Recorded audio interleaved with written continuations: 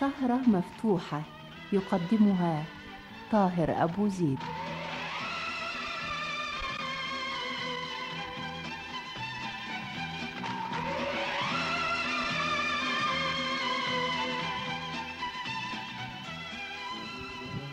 في جو من عبق البخور وحيث تطل علينا آلات الموسيقى من بيانو وعود وحيث تشرف علينا أيضا صور دينية جميلة للكعبة ورجال يمسكون بالمصحف الكريم يتلون القرآن الكريم.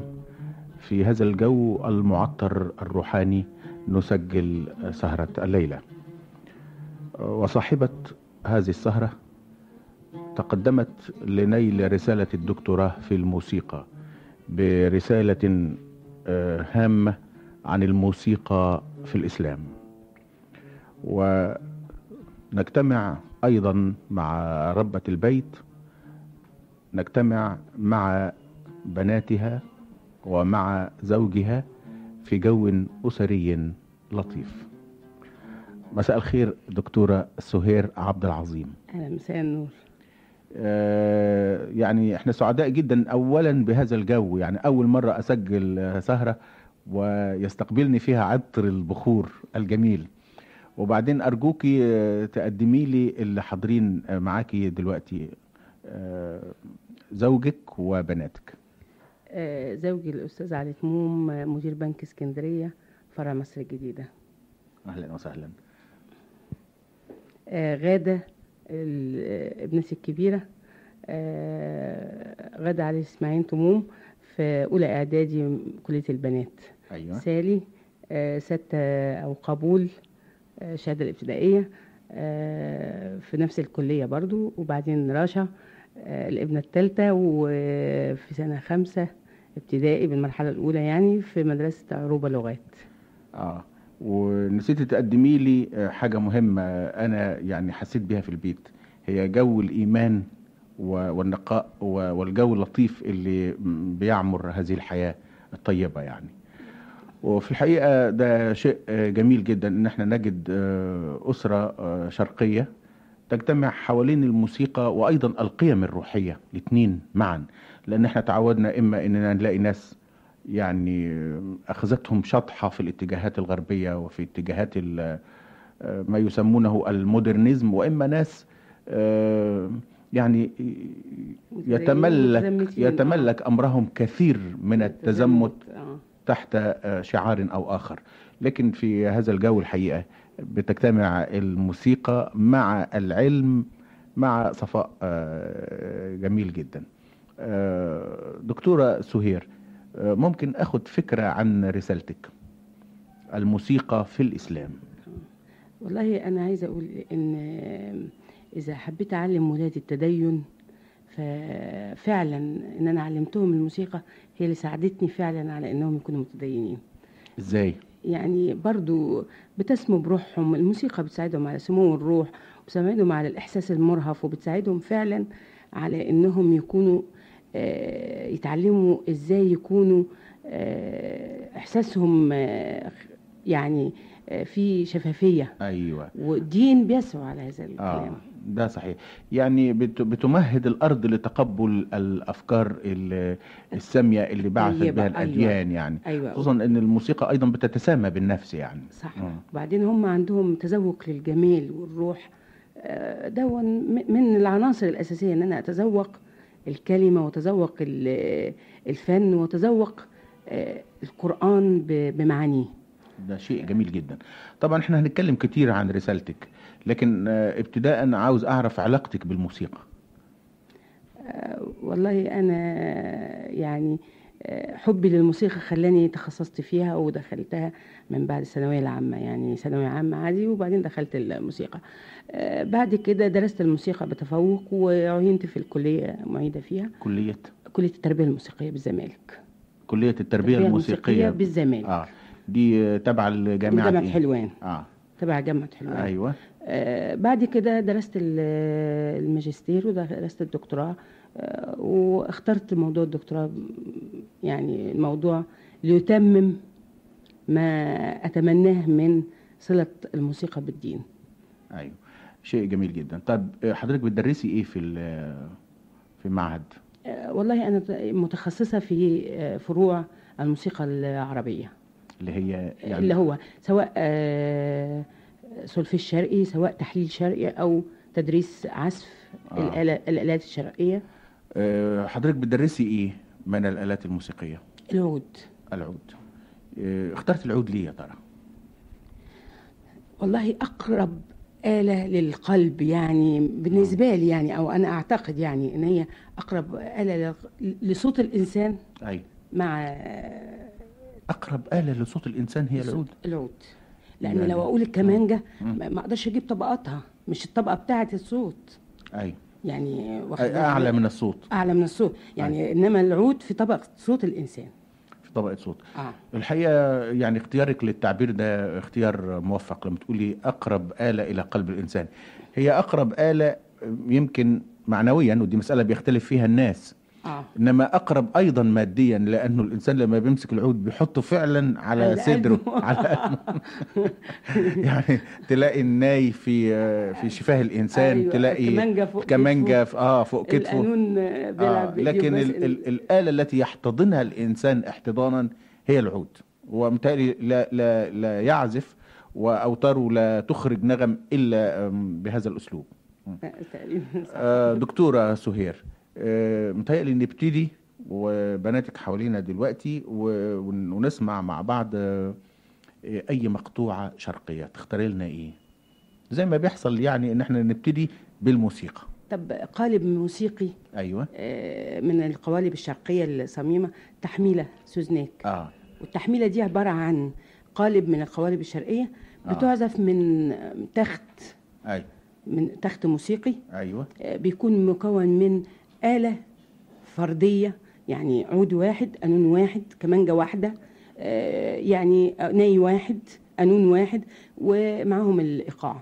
كل آلة بتنفرد بيعملوا لحن ميلودي آه، لازمة موسيقية للجميع وبعدين كل آلة بتنفرد بالتقاسيم وبيرد عليها ال- الآلات المختلفة أو التخت. آه يعني, يعني تنفرد كل آلة بتقسيم.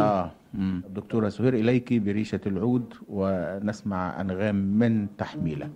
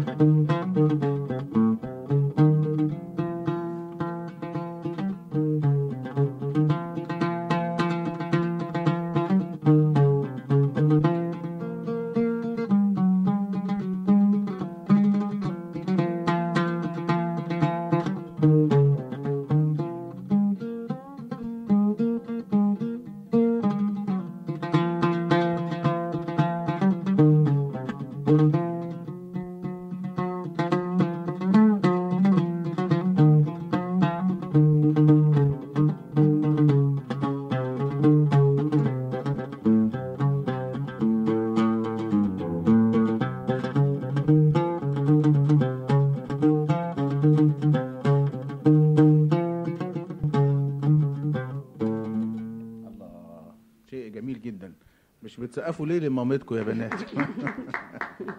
لا ده يعني شيء جميل حقيقة وزي ما حضرتك قلتي فعلا أنا كنت حاسس إنه آه، لو كانت ال- الآلات الأخرى موجودة وماشية باللحن الأساسي وبعدين يطلع العود يقول حاجات ويردوا عليه بيبقى جميل قوي آه. يعني هي بال بالتخت. آه، طبعا أوقع لانها هي مم... لها يعني مؤلفة للتخت أصلا. آه. آه، دكتورة سهير آه، ما هو الفرق بين التخت بمعناه الفني والأوركسترا لو قلنا التخت هو نواة من الأوركسترا نواة؟ نواة من الأوركسترا آه،. ليه لأنه بيمثلوا كل نوع من الآلات آلة واحدة أي. بيبقى يعني مصغر ب- آه، يعني- مصغر آه. ل- لل- للأوركسترا الاوركسترا عدد معين من الآلات يعني بنسب معينة أي. يعني عدد كبير يعني كبير آه. بس بنسب معينة يعني آه. طب هن- إنما في التخت بيبقى آه، يعني نموذج واحد من كل آلة يعني بيبقى فيه كمانجة واحدة كمان إذا كنا هنعمل تخت ما هو ده التخت يعني آه.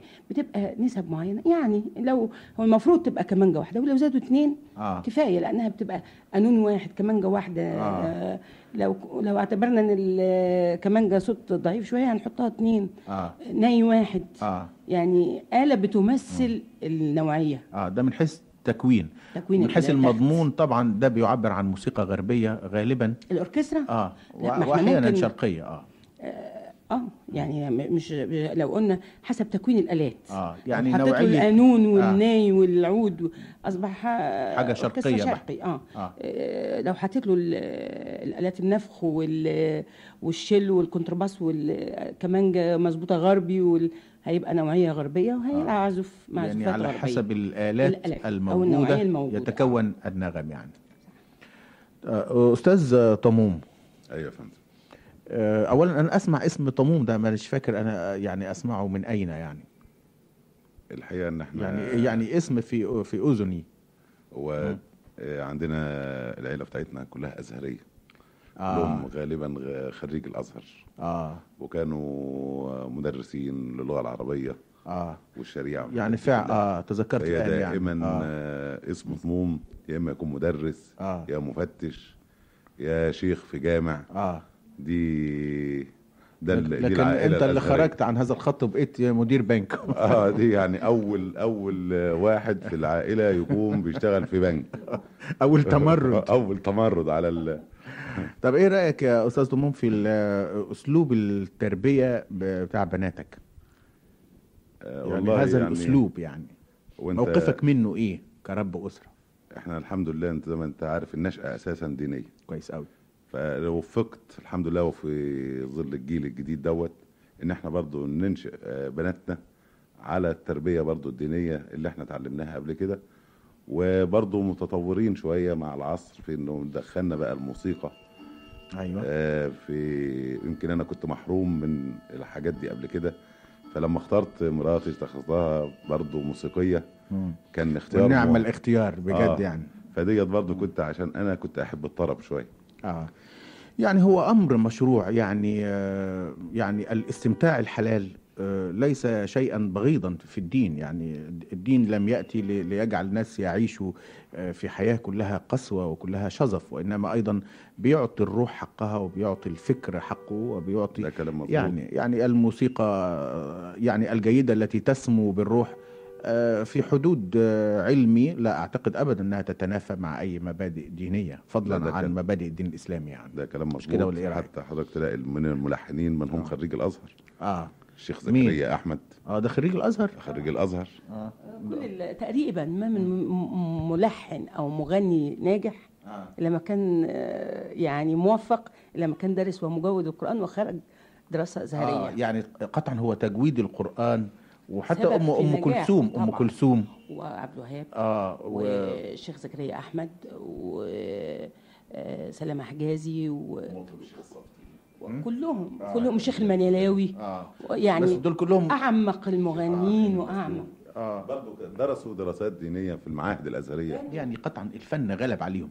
يعني أخذوا بجانب من الدراسة ثم آه، يعني جرفهم الفن صح. إلى شاطئه يعني. صح. بس آه، هو بتنتج من آه، التواشيح الدينية في حلقات الذكر ترتيب آه. آه. التواشيح الدينية من- من حلقات آه. الذكر وال وال والأذكار آه والحاجات دي يعني فبت- ما من مطرب الإنشاد، إلا الا ومر. بال- بالمولد آه ما يسمى المولد. في المولد بيشوفوا الأذكار وبيشوفوا التراتيل وبيشوفوا هذه الحلقات فيعني حتى فب- سيد مكاوي آه، يعني آخر?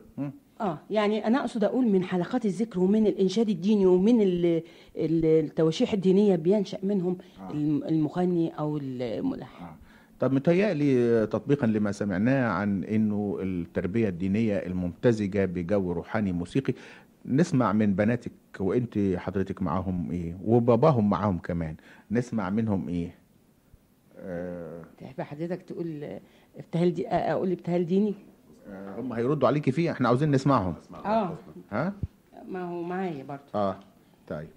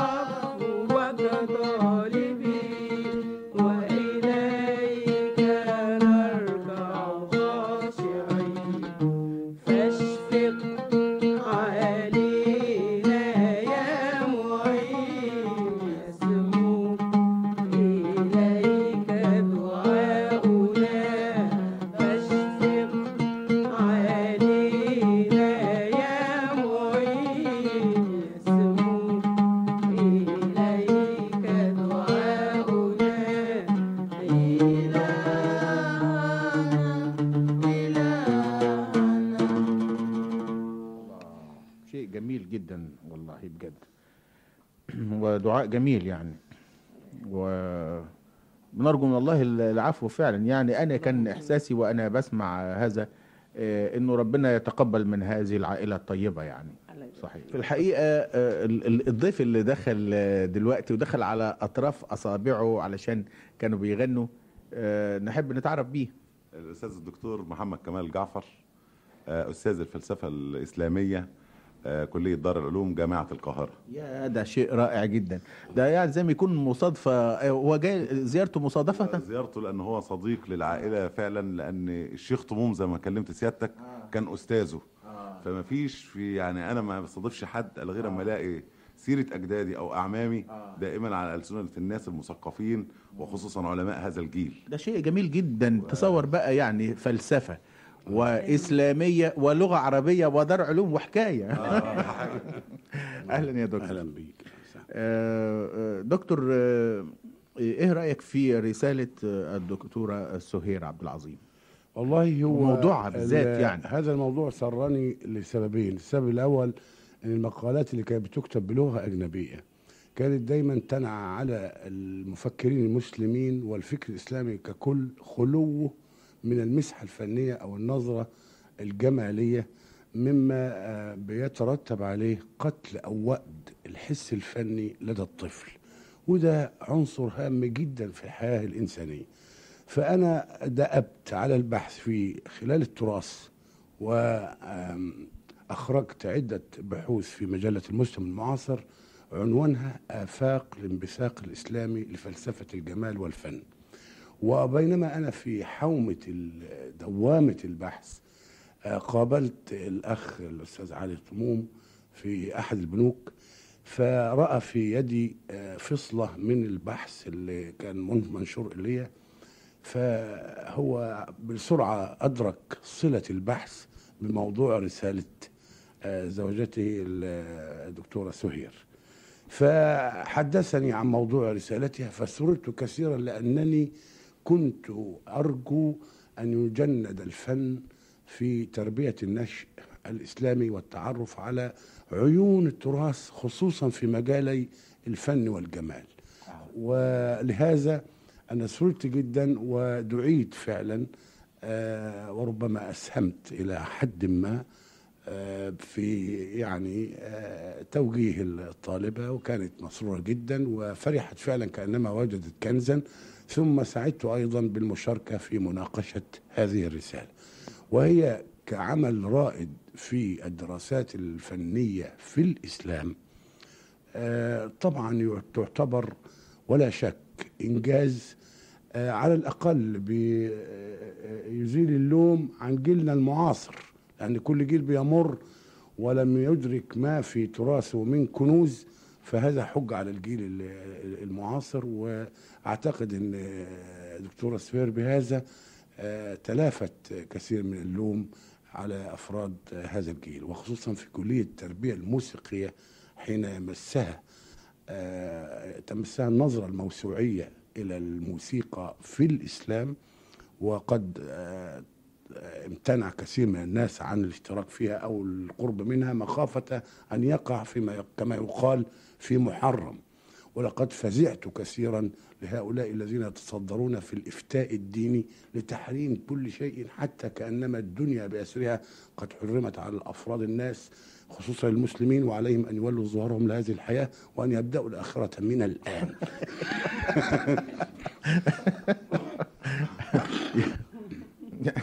يعني- فعلا هذه هي الصورة التي يرتئيها ال- يعني المسلم المعاصر اللي بيفتح عينيه على الفنون ويجد مؤامرة صمت غريبة جدا حوالين كل الفنون الإسلامية وخاصة الموسيقى وفي أحسن ال- الفروض بيجد مؤامرة الصمت لأن أنا عاوز أقول آه. إنه هو بيحرم أصلا كل شيء آه. فيعني كان كان مع إن منه. ده آه. ضد ضد الروح الإسلامية آه. يعني المحرمات في في كل قاعدة في كل دين في كل نظام وضعي حتى المحرمات دايما قليلة فتكون محصورة فتذكر آه. بالنص آه. ما وراء المحرم بيبقى حلال آه. فلأن ساحة الحلال أوسع يعني الأصل الإباحة الأصل الإباحة. آه. يعني فعلا آه، يعني ال- الأصل أن أن تباح الأشياء ولا تقيد إلا استثناء يعني. إلا بنص. إلا بنص. أو قياس متفق عليه. آه، دكتورة سهير أنا بعتقد أنه كان شجاعة منك أنك تطرقي هذا الباب. كان قدامك طبعا عشرات الموضوعات اللي ممكن تعملي فيها آه، رسائل دكتوراه لكن أنت أثرتي موضوع أولا صعب بطبيعته و- و- وشائك وغير مطروق. فإيه السبب اللي خلاكي تنهجي هذا النهج؟ ابتداء يعني. المفروض والله كان لازم حد يتركه. وبعدين مش هقول لحد اترك ولكن آه. آه. يبدا أبدأ أنا بت- بترك هذا ده, الموضوع. ده مبدأ ف- ظريف. آه يعني يعني ما انتش مستنية حد, حد- تقولي له اترك لا الباب. مش معقول. آه هقول آه. له اترك ولكن المفروض لكن أنا أبدأ. غريب أنه لم يطرقه أحد من الرجال وطرقته آه، الدكتورة سهير يعني. لأني كنت برضو حريص على إني أعرف. صلة الموسيقى بالدين إيه؟ آه.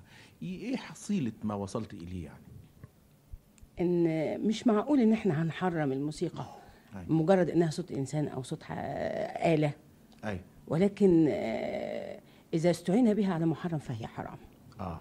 ولكن آه، الموسيقى في حد ذاتها لم تحرم ولا في الدين ولا في القرآن ولم يذكر حرمانها في أي مجال من المجالات يعني. آه. فما بالك إذا كانت آه، هتخصص ل... ل... لتربية النشء والهدف الديني وسمو اتجاهات الأخلاق روحية ودينية صح. زي ما بنسمع في الأغاني الدينية وغيرها بنحس إنها حاجة مطلوبة يعني مم. يعني يعني. على سبيل المثال شوفي آه، قصيدة شوقي بتاعت نهج البردة أو آه، ال- ال- الإمام الهمزية الحسين. آه،. آه، ولد الهدى فالكائنات ضياء يعني لما اتقالت بصوت أم كلثوم وبألحان رياض السنباطي وموسيقاه العظيمة وصلت لجماهير عريضة قد إيه واستطاعوا انهم يتذوقوا كلمات شوقي ويتذوقوا المعاني الدينية الرائعة في هذه القصيدة وتغنوا بيها يعني فعلا ما كل ما يقرب إلى ال- ال- ال- الألحان مهما صعب كلماته أو صعب معناه آه. فبيبقى قريب لل... للإنسان إن هو يحسه أو يشعر به كان منهجك إيه في في عمل الرسالة يعني والله اتبعت الحقيقة قسمتها لأربع م- أربع أخ- جوانب تقريبا أيوة. جانب تاريخي أيوة. أختص بعرض التاريخ للموسيقى في الإسلام في العصور المختلفة يعني آه، و و وما قبل الإسلام أنا وما أنا قبل قريت الإسلام. الرسالة بتاعتك آه. أيضا يعني الموسيقى في. في العصر الجاهلي ثم في العصر الإسلام- الإسلامي آه، ب- ثم في آه، الأموي والفاطمي والعباسي والأند... آه. عرضت التاريخ عموما يعني مظاهره أي. آه، في الجانب الثاني اطرقت طرقت موضوع القيم الجمالية والأخلاقية بالنسبة للدين الإسلامي والقيم الجمالية والأخلاقية بالنسبة للموسيقى. أي. وربطت العلاقة بينهم هل هم بيتفقوا ولا بيختلفوا؟ وبعدين آه، عرضت رأي الدين في ال- أو علاقة علم التجويد بالموسيقى الأول. عل- علاقة علم التجويد بالموسيقى زائد على أن أثر تجويد وت- وترتيل القرآن الكريم كان سبب في نجاح كبار الملحنين والمغنيين. أي. وفعلا عرضت الشخصيات اللي أثروا عليهم أثر عليهم ترتيل وتجويد القرآن. وبعدين عرضت رأي الدين في آخر الجانب ال- الفني ده. وبعدين الجانب الفني اللي هو الجانب الثالث عرضت فيه المظاهر فعلا ال- اللحنية اللي بنتركها في الدين من غير ما بنشعر إن هي لحن. يعني أو من غير ما نقول إن إحنا بنغني أو بنعمل زي مثلا الأذان بنسمعه بلحن. اي سجلت هذا اللحن أو الألحان اللي بيؤذن بها الأذان. آه، كذلك آه، تكبيرات العيد. اي آه، ال- التواشيح الدينية الابتهالات آه، جميع الألحان اللي بتطرق في آه، ال- الجانب الديني. وبعدين جيت في ال- القسم الرابع أو الجانب الرابع عملت طبقت النظرية بال طبقتها يعني فعملنا فلحنت أسماء الله الحسنى 99 اسم وحفظتها للأطفال في سن 8 و9 سنين. وشفت آه، المظهر اللي طرق هذا الحفظ عليهم فلقيت إن فعلا الأطفال كانوا سعداء جدا بيها وخصوصا إن كل معنى له... كل اسم ليه معنى جميل آه فالطفل كان بيشعر بالاسم ب...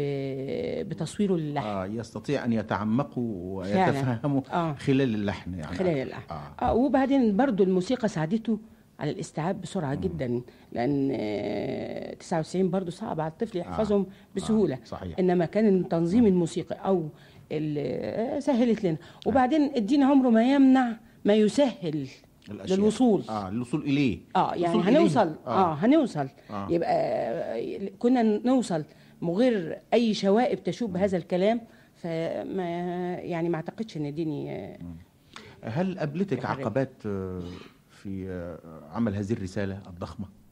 طبعا لازم هتقابلني عقبات وخصوصا في آه، المجال اللي غير تخصصي اللي هو آه، النواحي الدينية بالنواحي البحتة. الدينية آه. آه, آه. فكان آه، اللي بيعين على هذا المشرفين مشرف التخصصي. آه. آه، كان مين ماسك الناحية التخصصية الدينية في رسالتك؟ كان آه، مسؤول عنها الدكتور إبراهيم آه، جعفر إبراهيم آه، نجا مدير نائب مدير جامعة الأزهر.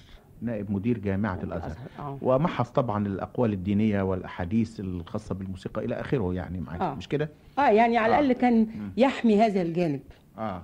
ي- يحمي هذا الجانب في رسالتك. في رسالة. كويس التعبير ده الحقيقة آه. يعني. آه هل وجدت مراجع تسهل هذا البحث؟ ولا بنحس إنه المراجع قليلة جدا في هذا المجال يعني؟ مجال الفنون وبالذات الموسيقى.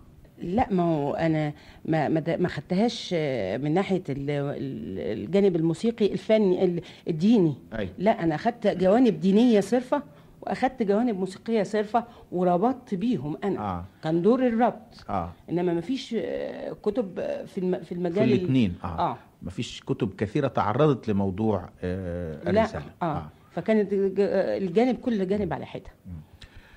آه، طيب آه، يعني بعد آه، الصورة التحليلية البسيطة اللي نقدر نقول إنها لا تعطي فكرة تامة عن الرسالة لأن الرسالة محتاجة إلى بضع ساعات ليقرأها الإنسان وهي رسالة قيمة فعلا. بقول ممكن نسمع مع بعض حاجة يمكن تؤكد بعض المعاني اللي حضرتك قلتيها؟ تحب حضرتك نسمع عليك صلاة الله وسلام؟ عليك صلاة الله وسلامه. آه. آه دي اللي غنتها أسمهان. أسمهان. آه, آه. طيب حضرتك آه، يعني عرضتي لموضوع أسماء الله الحسنى. آه. متهيألي إن إحنا نسمع دلوقتي آه، أسماء الله أسماء الله الحسنى. مع بناتك. ممكن. طيب.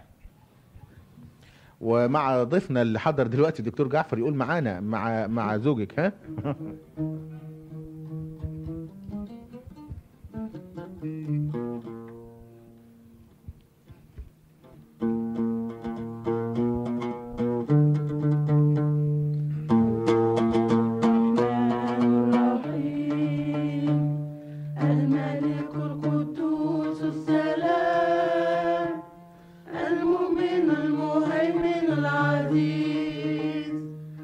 الجبار المتكبر الخالق البارئ المصور الغفار القهار الوهاب الرزاق الفتاح العليم القابض الباسط الخافض الرافع المعز المذل السميع.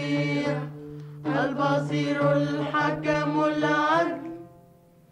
اللطيف الخبير الحليم. العظيم الغفور الشكور. العلي الكبير الحفيظ. المقيت الحسيب الجليل.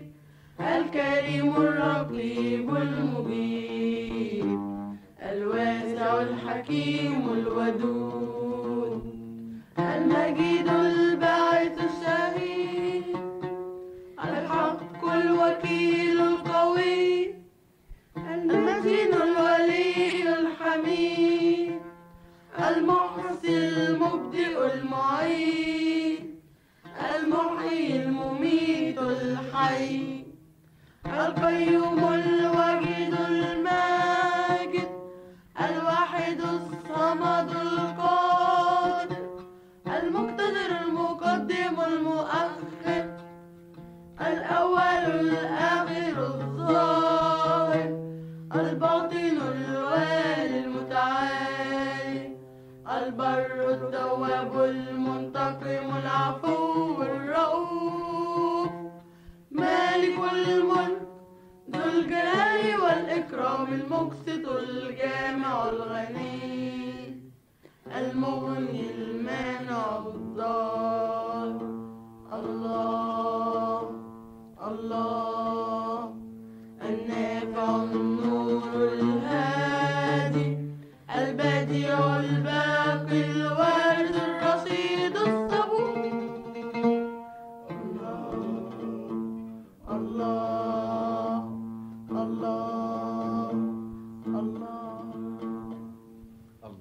كمان أقول الله. الحقيقة آه، شيء لطيف إنه ال- ال- الطفل الصغير سن 9 10 أو 11 يحفظ 99 اسم الحقيقة. يعني زي ما قالت ال- الدكتورة إنه بيساعد على الحفظ وعلى ال- الفهم. الاستيعاب فعلا. ها؟ سرعة الاستيعاب. طب دكتورة يعني أريد أن أقف وقفة آه، عند الأقوال الدينية فيما يتعلق بتحريم أو آه، جعل الموسيقى حلال. يعني ما تعرضت له في رسالتك من أحاديث تبرر وتؤيد أن الموسيقى حلال.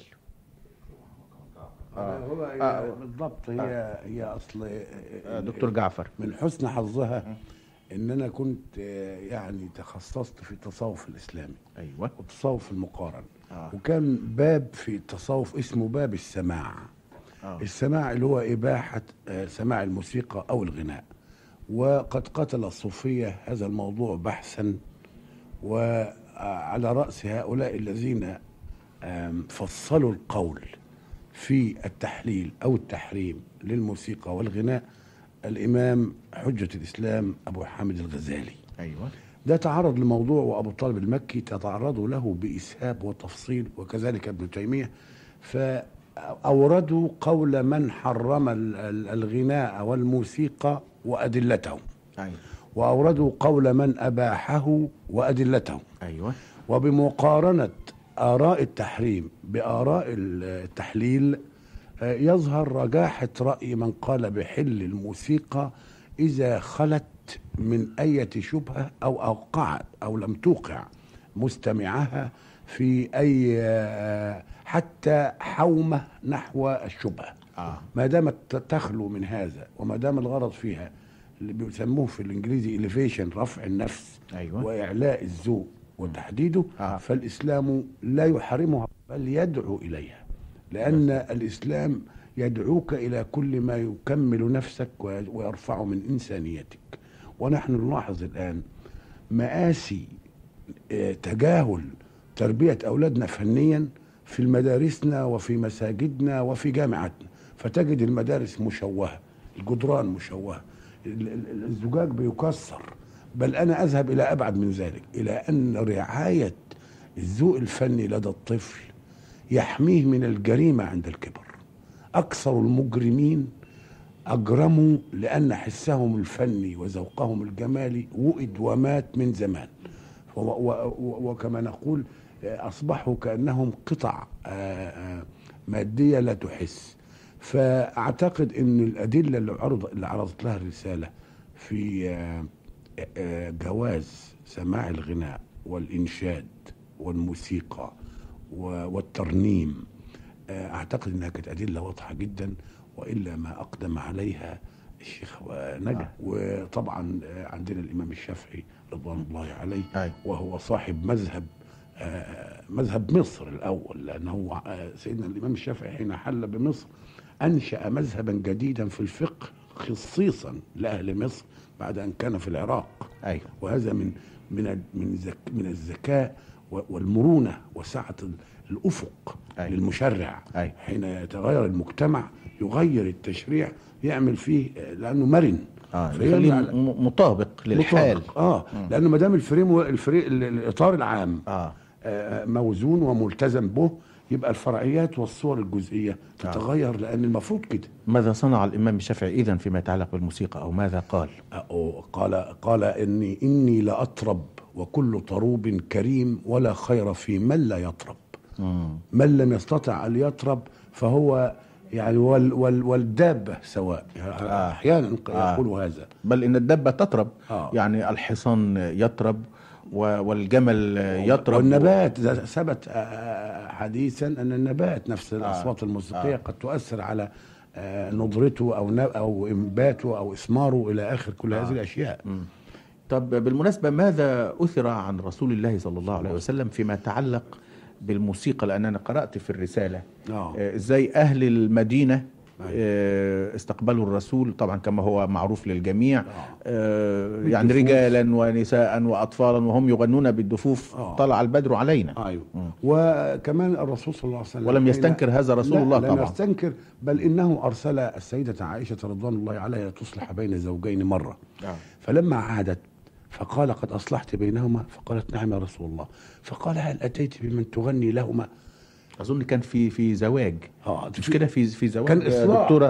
ده إصلاح. ده إصلاح ده إصلاح لأنها كانت طلاق بائن هو في حالتين. في واحدة في زواج بعثت ما- بعثت الفتاه إلى بعلها فقالت نعم يا رسول الله فقال لها بعثتي مع من يغني.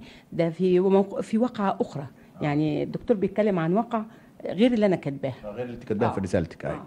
هي واقعات متعددة لكن حتى إن الرسول صلى الله عليه وسلم قد ذكر نص الأغنية حين ابتسمت عائشة وقالت له ماذا تقول؟ يعني ماذا ستقول المغنية وانتظرت أن يجيب الرسول فقال لها تقول أتيناكم أتيناكم فحيونا نحييكم ولولا الحبة السمراء ما, ما جئنا بواديكم ولولا كذا كذا. يعني ذكر لها هذه الأغنية وهي لطيفة أغنية في من ألطف ال ال ال ال لكن هو في شبهة بقى عند كل مسلم. آه، وهي شبهة صرف الله النبي عن سماع الموسيقى. يعني يقال إن الرسول صلى الله عليه وسلم قبيل الوحي كان إذا سمع الناي آه، بتوع الرعاة للأغنام كان يلقى عليه النوم. أو ودي حادثة مرة كان. يلقى عليه يلقى عليه النوم ينام آه. فلا يسمع. آه. آه، إعداد الرسول صلى الله عليه وسلم طبعا ده إعداد خاص. وبعدين الرسول طبعا لا يفتنه لا سماع ناي أو لا سماع موسيقى. ده حاجة خاصة بالرسول. لكنه لم حين رأى الدف يضرب والغناء ينشد لم يستنكر بل إنه كان يدعو إلى ذلك. غاية ما في الأمر إنه كان لا يسمح بإحداث الفوضى أثناء الغناء أن يختلط الحابل بالنابل وأن تتخذ بقى تفتح ثغرات للانحراف. آه. يعني هو الرس... ال- الإسلام يصحو عندما يرى آه، منفذ للانحراف. هنا يقف الإسلام. و- والموسيقى مثلها مثل الخبز في الإسلام. أيوة. الخبز قد يكون حلالا وقد يكون حراما آه. السيف قد يكون حلالا. زي الخبز قد يكون حراما. قد يكون حراما إذا اكتسب من غير ما حله آه. أو إذا سرق. أو إذا سرق. أو إذا خلط بما بما يسكر يعني كل شيء في الحياة الإسلام لم يحرمه لذاته. آه. حرم عليكم الخبائث. الإسلام حرم علينا كل خبيث. فهل الموسيقى خبيثة؟ هو ده السؤال. لا مش خبيثه من جعلها خبيثة في بعض الأزمنة باختلاطها بالمجون فذلك ليس راجعا للموسيقى. بل راجعا للسوء آه. الاستعمال. آه. يعني كانت بتتخذ أداة لهو فقط. لا. ولذلك الجماعة اللي بيفسروا الآية ومن الناس من يشتري لهو الحديث بالموسيقى هؤلاء لم يفهموا اللغة العربية. آه. الله يقول لهو الحديث الحديث. والموسيقى ليست حديثا. آه. وإنما لهو الحديث. كانوا جماعة يقصون قصصا جذابة يريدون أن يصرفوا بها الناس عن استماع القرآن.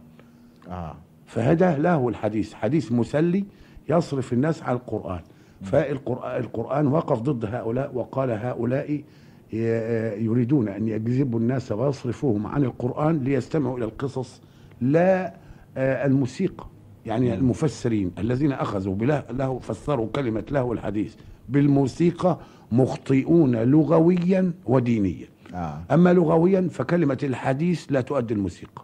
آه. وأما دينيا فلم يرد عن رسول الله تحريم أو نهي عن استماع الموسيقى أو صنعها آه، دكتور آه، جعفر بس انت حضرتك دلوقتي بتدخلنا في موضوع تاني آه. شائك برضه لأنه لما ندخل في التسلية و...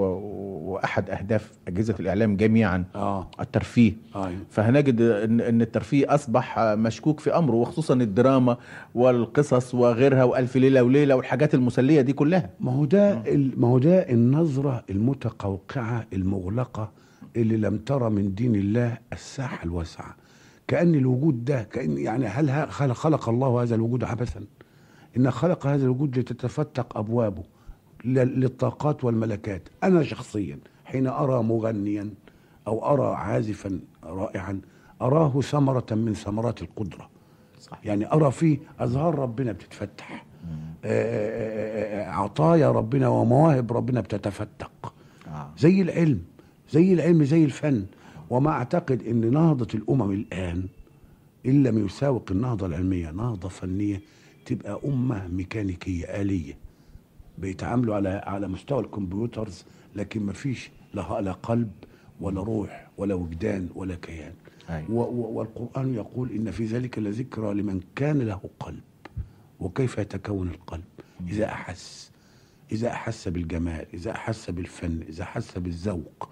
فال لا حكاية الإذاعة والتلفزيون وكونها فيها برامج ترفيهية دي سؤال ده يعني. أنا شخصيا آه، بالناحية الصورة العامة ستجد من يضيق بالإذاعة وبالتلفزيون سواء حذفت أجزاء مما يعترض عليه أو لم تحذف. آه. فهؤلاء كانوا يقولون منذ زمن قريب إن الشيطان في بيتكم. قال لي أحد الناس إن الشيطان في بيتك. فقلت له ما هو قال الر- الراديو. وأمرني بأن أحطمه. الآن خفت نغمته. آه. ولم يقل الشيطان. بقى يقول الآن على التلفزيون. آه. إنه شيطان بس يعني ساب الراديو.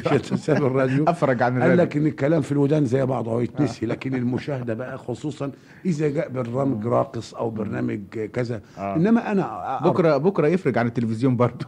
بس مش مش بالصورة. أنا بقول إن يعني وسطا بين آه، السخاء وعدم التحلل.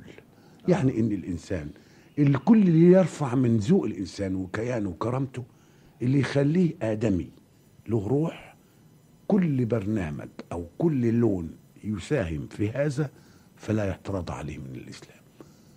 ما دام بيحسن خلقه بيهديه بيجعله أنا أعتقد إن الغاضب المحنق ده اللي متضايق اللي هيطق القلق أنا بعتبره بعيد عن بعيد من الله.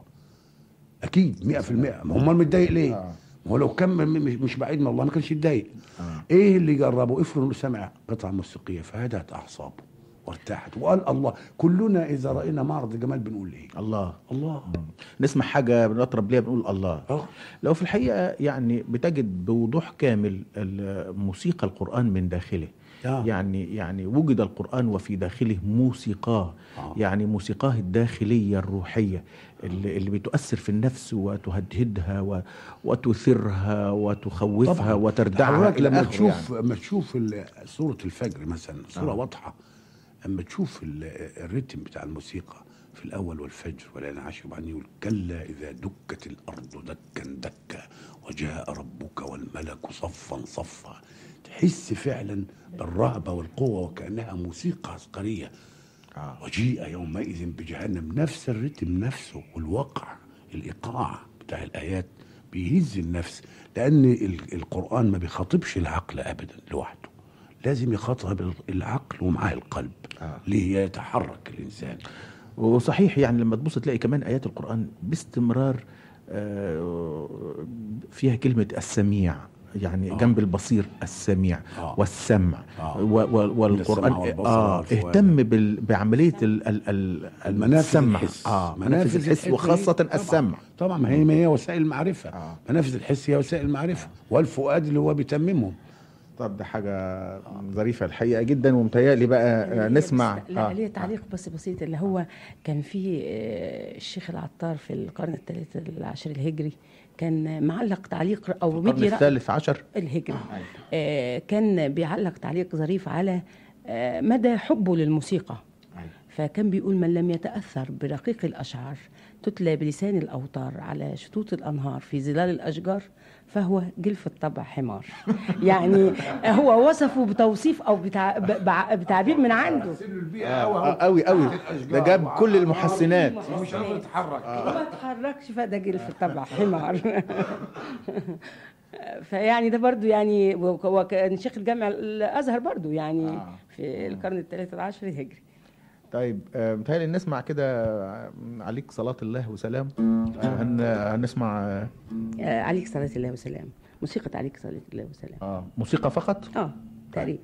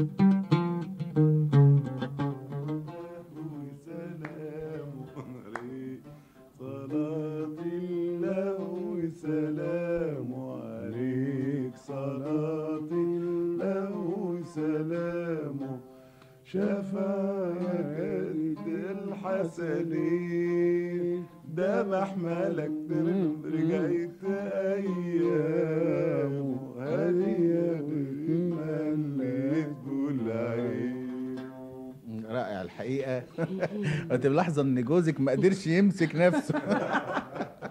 يعني فضل يسمع مزيكا مزيكا والآخر انطلق بالغناء. أجمل ختام لهذه السهرة إن إحنا نعود فنبتهل إلى الله مرة أخرى. فبالتالي ال- الابتهال ال- بتاع إلهنا ده ممكن يبقى ختام جميل ختامه مسك يعني فعلا. ممكن؟ أيوه ممكن.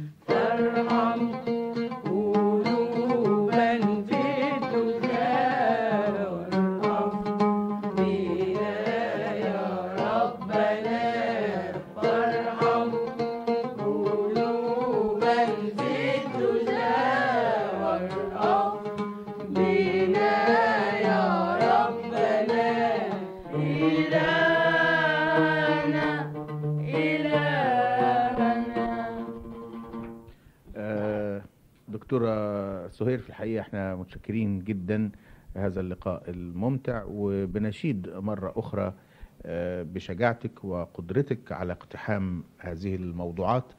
وبنرجو إن إحنا نشوف رسائل كثيرة في هذا المجال وكتب وتوضح لنا حقيقة ديننا آه، فعلا. وبنشكر آه، زوجك الأستاذ طموم وبناتك غادة وسالي ورشا والصغيرة رنا. العنقود. رنا وبنشكر آه، ضيفك اللي جاء الليلة دي الدكتور آه، محمد كمال جعفر. محمد كمال جعفر. وبنشكر أيضا المصادفة اللي ساقته إلينا بعلمه وفضله وأدبه وفنه وكل ما أسبغه على هذه السهرة من جمال وقيم. أشكركم جميعا. شكرا.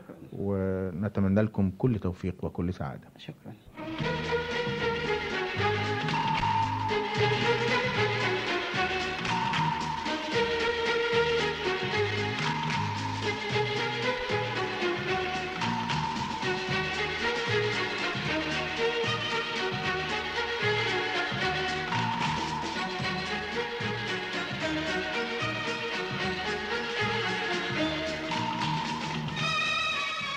أيها السادة شكرا وإلى أن نلتقي في الأسبوع القادم مع السهرة المفتوحة.